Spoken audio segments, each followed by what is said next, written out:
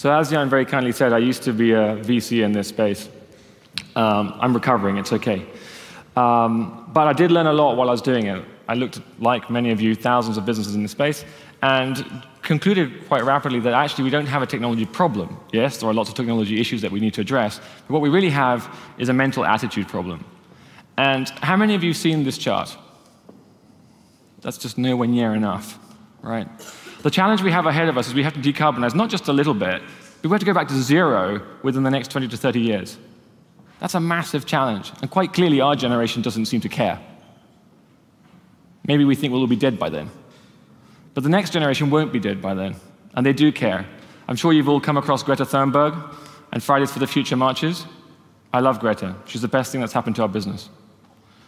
But the point is that students and the young generation are not being taught about energy literacy, energy literacy and carbon literacy at schools, or given the tools to do anything about it. Yet, if they as students know what to do, as adults they'll behave differently, but more importantly, as students they can also influence their parents. When I go into schools and they say, well, what can we do to make a difference? I ask them, did you get what you wanted for Christmas? The answer is normally yes. And that's the power that that generation has. And if we can teach them to do that, then we can accelerate the pace of change. So what do we do? Funding education in schools is difficult if you're trying to raise charity money to do it. So instead we put solar panels on the school and we use the income stream from those solar panels to fund the education into those schools. And in order to do that, we've built an online platform that de-risks the whole process. The trick here is a little bit like Airbnb enabled homeowners to make money out of their spare bedroom by de-risking the process. Same with the school.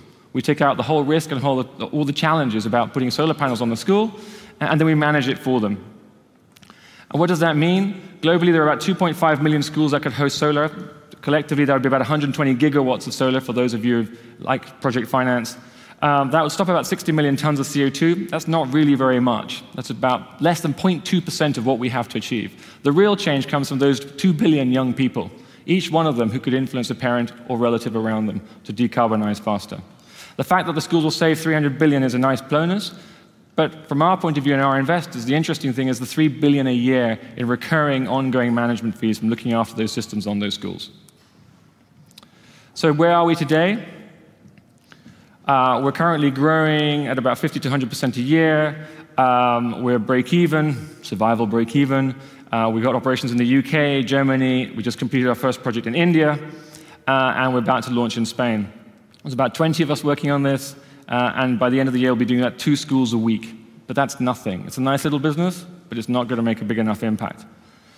What I need to do is I need to get to the point where our platform, our online system, can cope with 2,000 schools a week. And for that, today we're announcing the, the start of a fundraising of £2 million to accelerate that process. So what does that mean? Already our online platform allows us to analyze any one of about 80,000 schools in the UK and Germany. Uh, the billing process, the management systems are all there, uh, and all of the administration tools. We can instantly provide a quote to school. Uh, but what we need to do next is digitize the entire process, the whole workflow, to automate it more, and get it to the point where partners and ultimately students can develop a project themselves. Uh, and then that links back to the education piece. So on the top left, you'll see a chart, which is what we provide to a school as the very basic level entry, is we show them how much the school's consuming and how much the school's generating.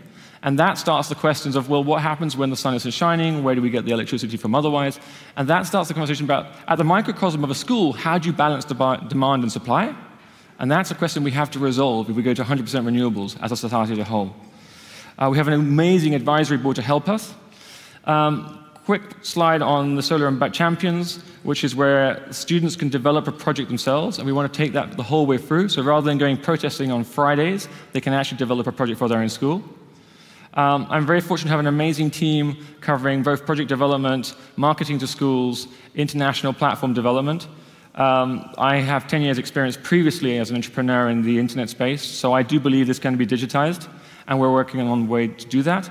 I'm also incredibly fortunate, in addition to Jan, who just uh, invested as an angel, to have an amazing network of other angel investors, including the previous CEO of Siemens Solar, uh, the previous CEO of uh, Qcells, uh, and a bunch of um, partners in infrastructure funds. So a great network. I'm very much looking forward to meeting potential investors to do our first institutional fund and take this to the next level. Thank you.